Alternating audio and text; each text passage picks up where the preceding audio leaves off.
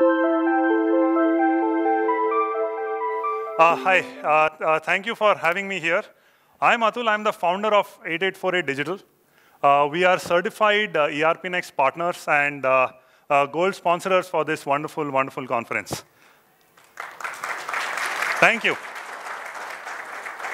So, so the question that, that keeps coming to me is what is 8848? So we, we, we took this name from the height of the astonishing Mount Everest uh, which stands tall in the calm, uh, with a simple aim of reaching such highest points uh, in our walks of life, innovating and creating value as we go along for people and businesses.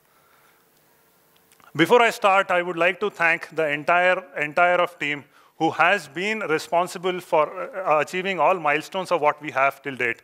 Uh, the entire of Frappe team, the entire of it, the 8848 digital team, uh, my family, and every individual who has been part of this journey without which even I would not have been here. Uh, my journey started uh, long back in 2001 as a, as, a, as a software developer, all out of passion in my pre-college days, where uh, I built uh, uh, uh, some applications on VB6. little knowledge did I have about web technologies, leave aside open source. my professional career started in 2008 where I was introduced to the concept of metadata uh, by an application development company, WebNotes. Uh, we built uh, an ERP system for a hospital beds manufacturing company who had, uh, who had a monopoly in the market. Uh, uh, and this metadata framework is what today we call as a low the low-code application framework, Frappe. my my entrepreneurial journey started in uh, 2009, where we became an application development company uh, using open source technologies. We never looked back into, into proprietary systems. Uh, extending services towards UI, UX, uh, native hybrid mobile application development, we became a full service uh, design and technology agency. The whole idea was simple, innovate, build new things. And through a course of, of around a decade, we have been able to cater to a bunch of brands across BFSI, healthcare, entertainment, like a bunch of digital agencies, jewelry being our uh, uh, expertise in domain, retail, uh, a bunch of portals marketplaces for startups and enterprises alike. But there was always, always some discussions where uh, within the team where we need to move from the smaller, the smaller or mid-sized projects and catering into enterprises as a whole. Uh, in 2018 is where we, re we, we registered 8848 Digital, and uh, we also got our processes certified uh, on quality and security systems under ISO. Uh, there was, though we were in touch with the Frappe team for good long, uh, we were never able to kind of associate towards implementing a project through and through.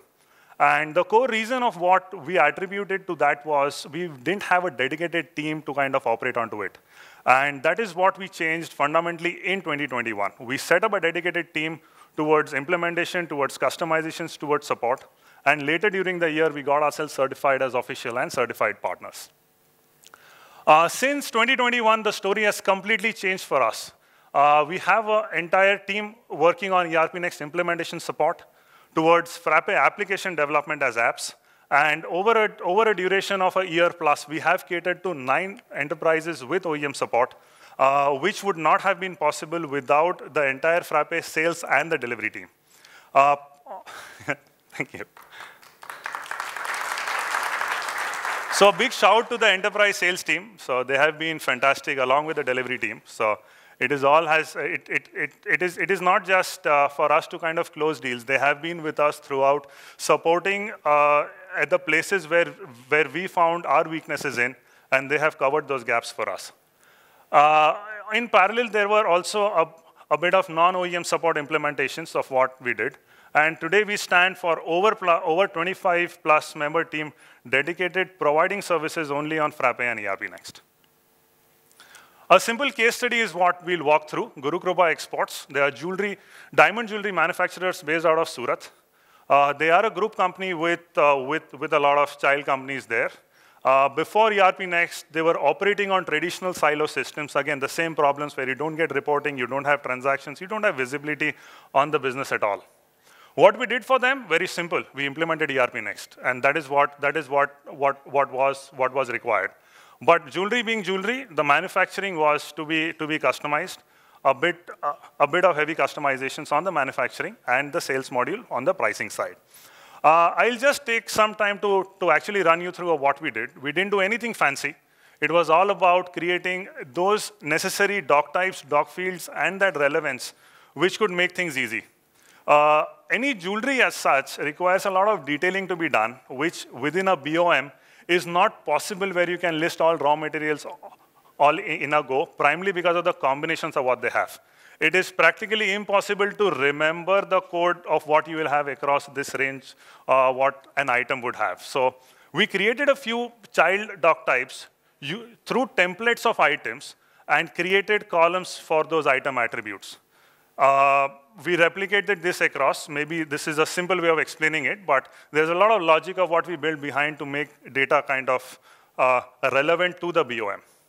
Uh, so there were a bunch of changes within the BOM through custom fields added through. Uh, plus, on the manufacturing front, uh, they didn't want to operate as an individual job card. They wanted to kind of combine job cards together, operate as one, and then divide it across where you have different timings, scraps, and everything coming out of it. So that was some kind of a logic of what we built inside.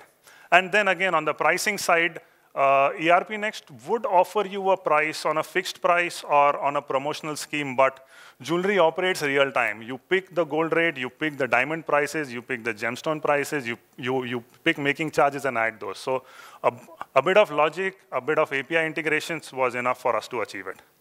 What, and how did we do it? Simple.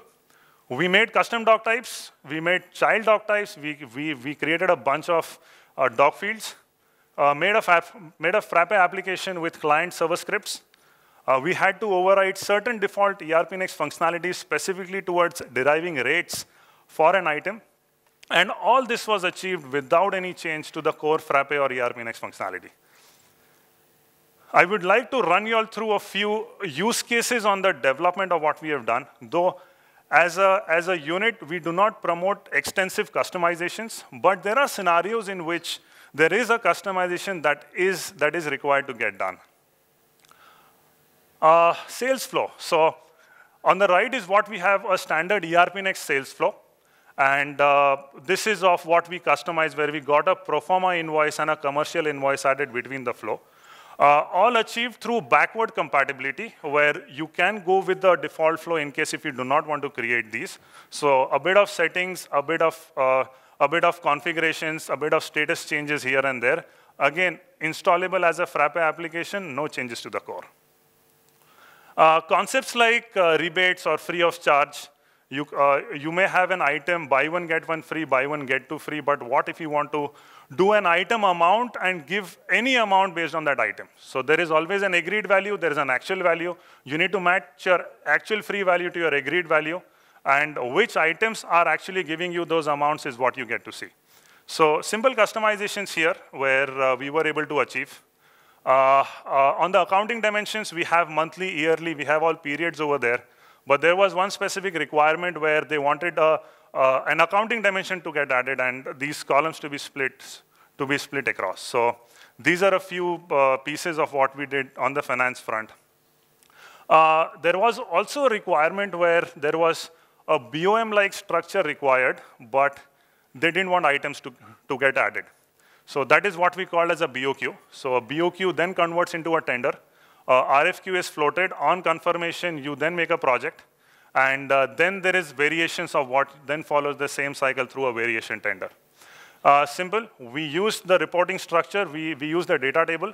Uh, we, we use this data field to kind of create a hierarchy of what you see on the left and had all the action items on the top. This is a custom report completely built up, but with all functionalities of what you could do with a form, including add, edit, looking at it, running it, running the filters, simple through. So all this, this entire flow was easily managed through one single screen.